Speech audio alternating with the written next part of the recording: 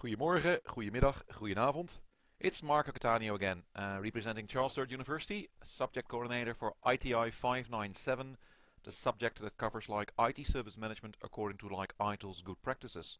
Hey, in uh, this topic, I'm going to introduce the concept of a problem. Uh, let's make some problems. Let's create some problems.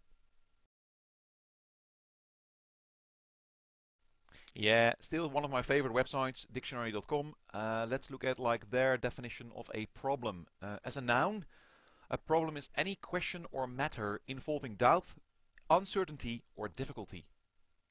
It's a question proposed for solution or discussion.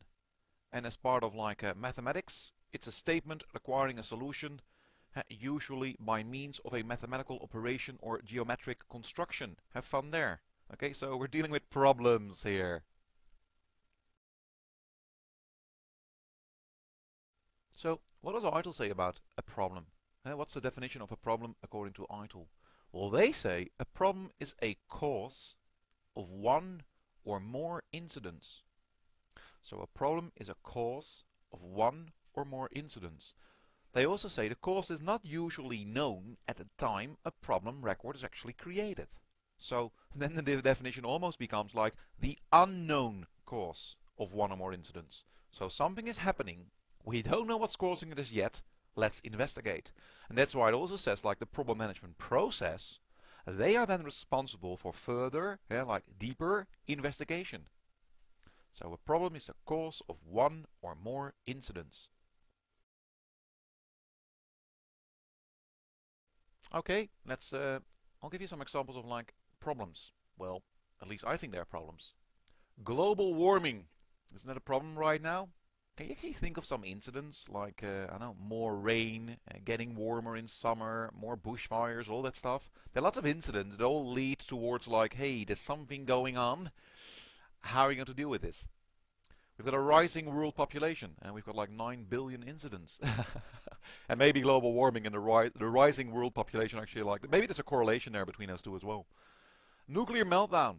Uh, I'm thinking of Chernobyl. And uh, I know how they dealt with like Chernobyl as an incident. They just they just poured like millions of tons of concrete on top of like a nuclear reactor. They may still be dealing with the problem today. Okay, world recession.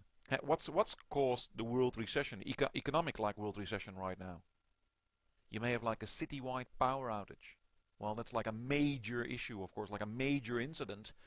Uh, yes, of course, you want to restore power, but you also want to prevent like power outages like from occurring again, from happening again in the future.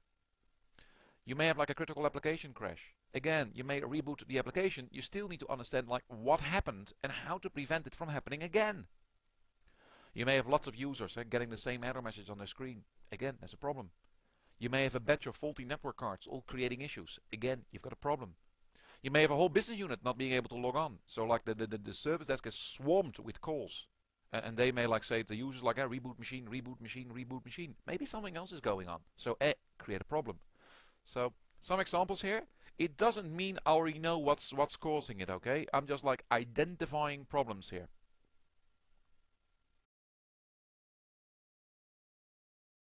So let's talk you through this example of like incidents and problems, okay? At some stage, hopefully you will see the light.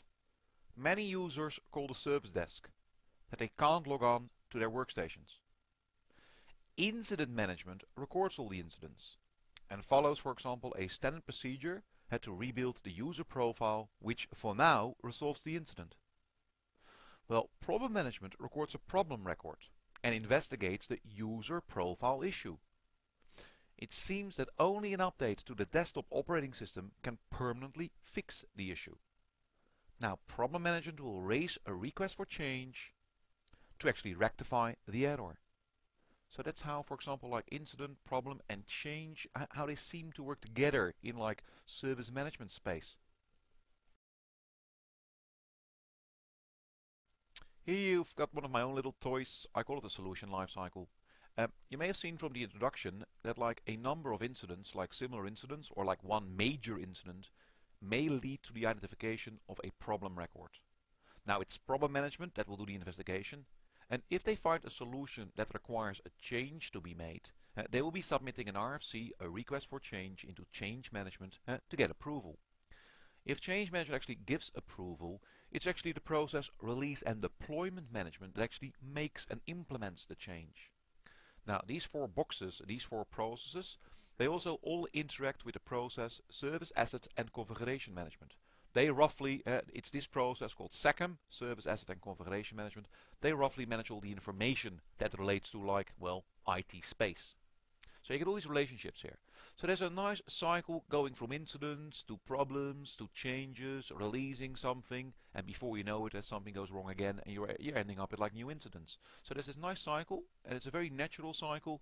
It also really shows you that like it's really a connected world uh, in IT service management space all these ITIL processes and all these IT service management processes, they all have strong relationships with each other.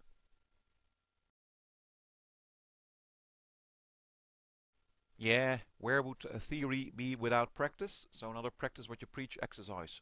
Uh, of course it's all about understanding the concept of like problems and their related incidents.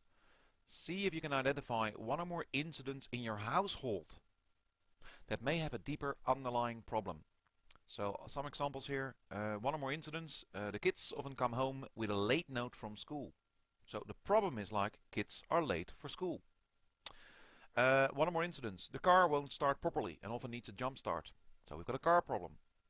Uh, we've got many leaking taps in the house. Okay, so we've got a leaking taps problem. Don't jump into conclusions, okay? Don't think about like the root cause as yet or the solution as yet. Just identify the problem for now. And a problem, again, a problem is like one or more related incidents or a problem is linked to one or more related incidents.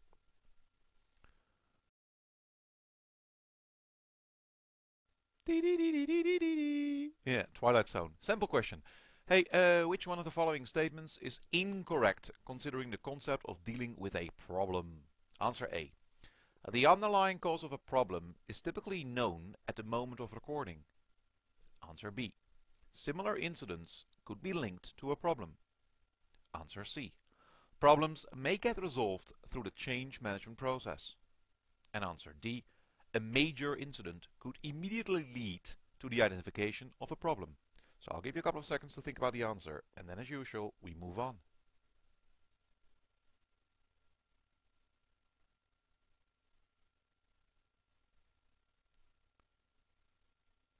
Okay, so what's the answer? The answer is answer A. The underlying cause of a problem is typically not known at the moment of recording. So a problem is often seen as like the unknown, underlying, undiagnosed error of one or more incidents. I'll repeat. A problem is often like seen as like the unknown, underlying, undiagnosed uh, cause of one or more incidents.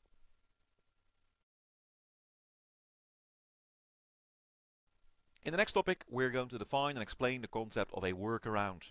Hey, until then, uh, live long and prosper, nano nano, and as usual, I'll be back.